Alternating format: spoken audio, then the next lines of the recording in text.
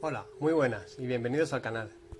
Hoy os traigo una guía completa del clamidosaurio. Eh, tenía una hecha de hace bastante tiempo, lo que pasa que bueno, no era hablada y me habíais dicho que, quisiera una hablando, pues eh, aquí la tenéis.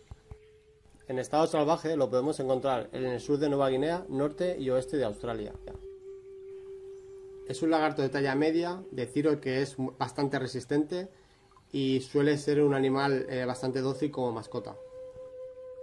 El clamidosaurio puede alcanzar hasta los 90 centímetros, eh, sobre todo los machos, las hembras siempre suelen ser un poquito más pequeñas. La longitud total que hemos dicho, eh, dos tercios pertenecen a la cola.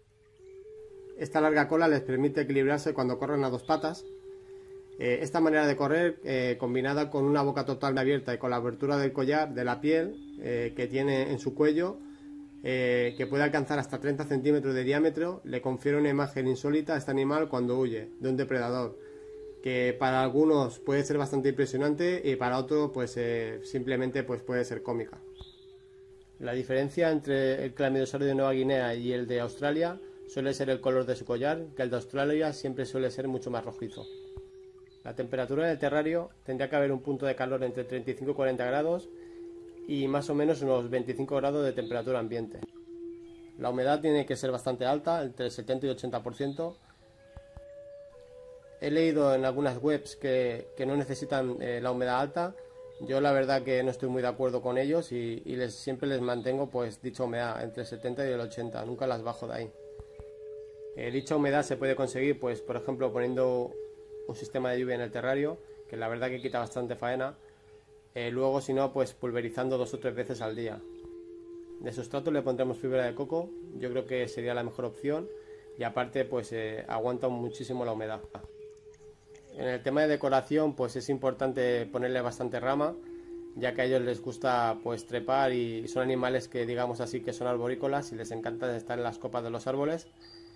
Eh, también pondremos plantas naturales si puede ser, también se puede poner alguna artificial. Ellos suelen beber pues del rocío de, a la hora de pulverizar pues eh, el terrario. Yo de todas maneras yo siempre les dejo un bol con agua porque los he visto, bueno, en este caso lo he visto a él beber alguna vez que otra y, bueno, me da un poquito más de seguridad por si acaso pues, eh, pues no llega a beber de ese rocío y, siempre que tenga agua se abasto. La dieta del clamidosario pues es una dieta eh, carnívora, está basada pues en grillos, cucarachas, langosta, cualquier tipo de gusano. Hay manuales que dicen que también pueden llegar a comer eh, pues vegetales. Yo la verdad que, el animal que yo mantengo tiene casi un añito y la verdad que lo pruebo bastantes veces pero jamás ha comido nada de vegetal. Yo luego el tema de vitaminas y calcio se lo pongo tres veces o cuatro a la semana máximo. Cuando son adultos, eh, muchas personas pues les dan de, alimento también de vez en cuando, o a lo mejor una vez al mes más o menos, eh, algún ratón. Yo la verdad que, todavía nunca lo he hecho y, bueno, ya veré si lo hago cuando, cuando sea un poquito más grande. En el tema de luces eh, necesitaremos una luz de calor y una bombilla de UAV de 5.0. Y si en la zona pues donde lo tienes hace bastante frío por la noche, pues pensar que tendréis que poner alguna manta térmica o otro sistema pues que no os baje nunca la temperatura de 20 grados por la noche. Eh, una cosa importante, muchas veces ponemos la luz de calor y el, y UVA y, pensamos que ya tienen suficiente luz. Eh, depende cómo sea el terrario de grande, muchas veces esa luz pues no tiene suficiente luminosidad al terrario y yo siempre pues, lo acompaño con algún fluorescente o alguna bombilla potente pues que, que dé luminosidad pues eh, donde él está, porque si no se queda como muy apagado y eso hace pues que el animal esté como más aletargado. Los terrarios para clamidosaurio pues eh, tienen que ser bastante grandes. Pensar que bueno son animales que encanta estar pues subidos en ramas. Eh, bueno, lo importante sería pues eso, que fuera más alto que ancho y cuando son más pequeños pues eh, como en todas las especies de, animales pues se pueden tener en espacios más pequeñitos hasta que vayan creciendo y luego hacerles ya el hábitat pues definitivo esperanza de vida en estado salvaje, pues eh, a lo mejor está más o menos entre 5 y 6 años, pero en cautiverio pueden superar perfectamente los 10 años. Deciros que el collar, eh, aparte de abrirlo cuando se siente amenazado y cuando corre, como he dicho antes, también lo usa eh, a la hora del cortejo con la hembra, es una manera que tiene de relacionarse con ella. Más curiosidades sobre ellos, pues que por ejemplo cuando se siente amenazado eh, emite como una especie de silbido.